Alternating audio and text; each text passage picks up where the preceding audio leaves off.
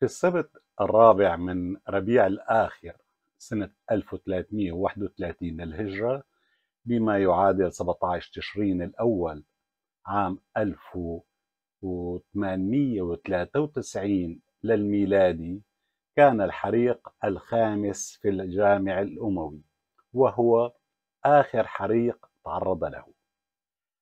آه، سببه أن أحد العمال الذين يصلحون سقف الجامع في الجهة الغربية فوق باب الزيادة القبلي أحب أن يدخن أرجيلة هناك أوقد نارا ليشعلها فاشتعل السقف. وعمت الجامع كله حيث احترق الحرم والرواق الشرقي ومشهد الحسين. وسوق القباقبية والقوافين الكاتب علي الطنطاوي كتب في كتابه عن الجامع الأموي كانت دمشق آمنة مطمئنة والناس منصرفون إلى أعمالهم. في الأسواق المحيطة بالأموي والنساء في بيوتهن فما راعهم إلا صريخ كأنه النذير. لقد احترق الأموي. فترك التجار مخازنهم مفتوحة ووثبوا ينظرون وصعدت آه، النساء على السطوح وتراكد الناس من كل جهة. وإذا بالدخان ينبعث من سقف الجامع ولم يكن في دمشق مصلحة إطفاء حار الناس ماذا يصنعون؟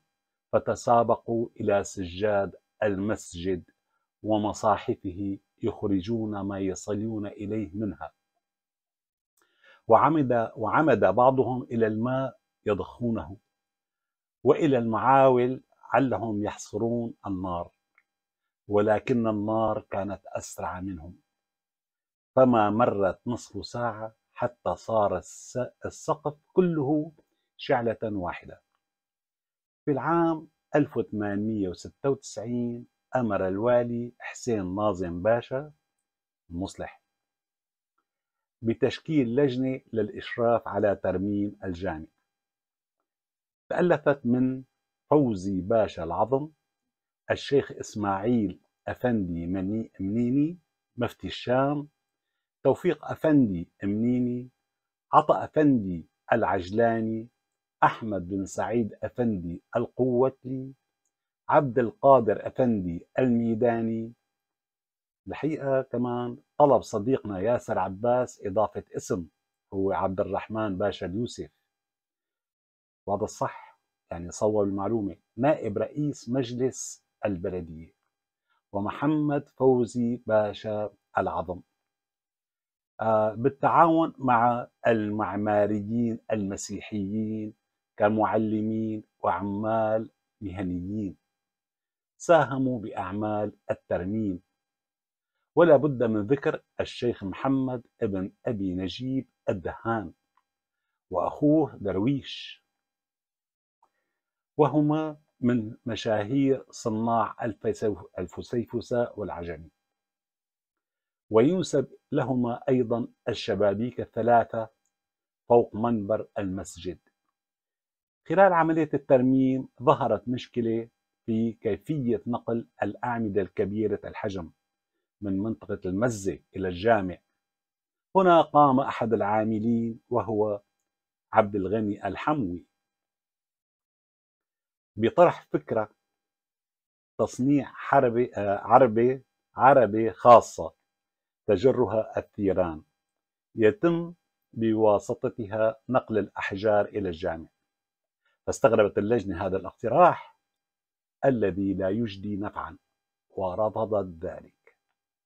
وهنا أخبرهم الحموي أنه سبق أن شاهد مثل هذه العربة وهي تنقل الأعمدة الضخمة في إيطاليا.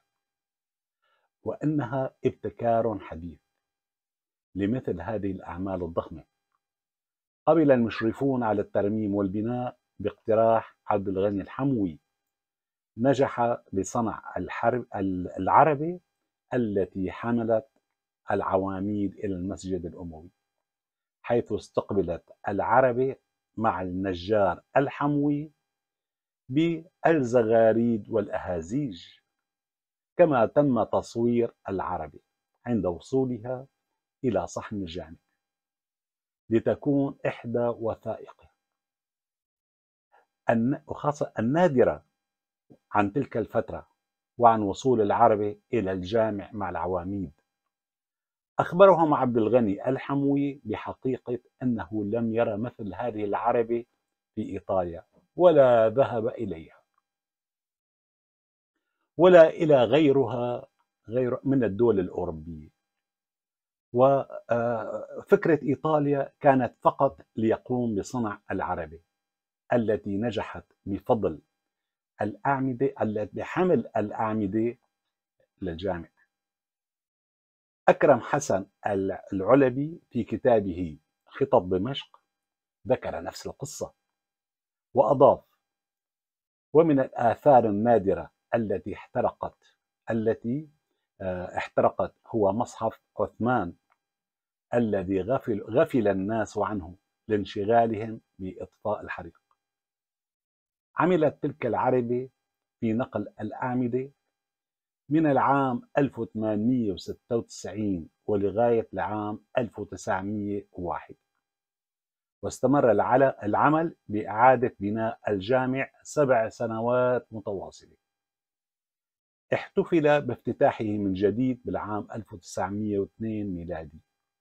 بعد ذلك تركت العربة في الرواق الشمالي للجامع حتى الآن. ثم تم بناء غرفة زجاجية تحيط بهذه العربة الخشبية لحمايتها. كما تم وضع لوحة تعريفية باللغة العربية للدلالة على تاريخ العربة أرجو أن تعجبكم. وهي قصيرة شوي. شكرا جزيلا. لاستماعكم لمشاهدتكم الصور. الصور مثل ما قلت في شيء إلي في شيء كمان أنا جبته عن طريق الأونلاين. شكرا جزيلا. أهلا وسهلا.